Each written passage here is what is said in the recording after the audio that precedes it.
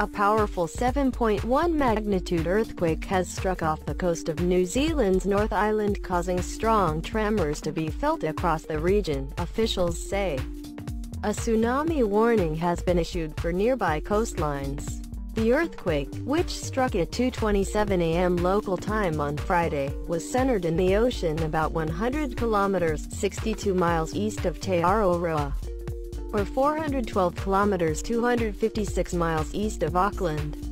It struck at a depth of roughly 90 kilometers 58 miles.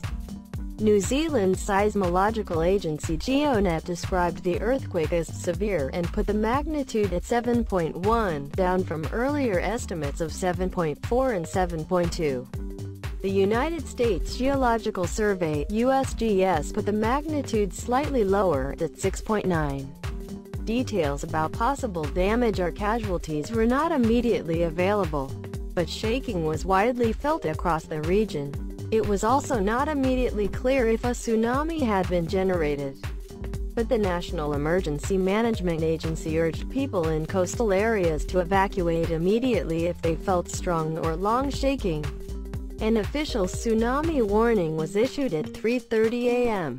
Evacuation advice overrides the current COVID-19 alert level requirements. Listen to local civil defense authorities and follow any instructions regarding evacuation of your area.